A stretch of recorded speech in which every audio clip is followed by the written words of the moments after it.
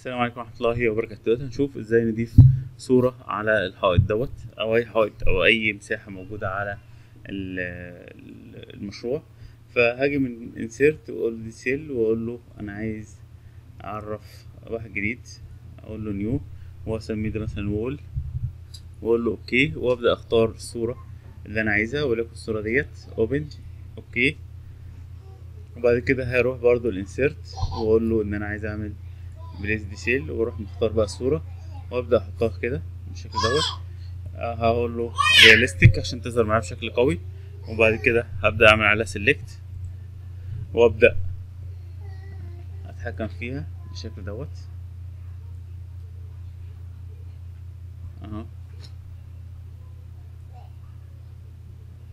تمام. دي هنا بيخلينا نتحكم في في ال- الطول والعرض يتغيروا مع بعض ولا ينفع واحد بس؟ يتغير. وممكن بال تتحكم فيها بالماوس تحركه شوية بالشكل دوت فتظهر معايا الصورة زي ما انت شايف.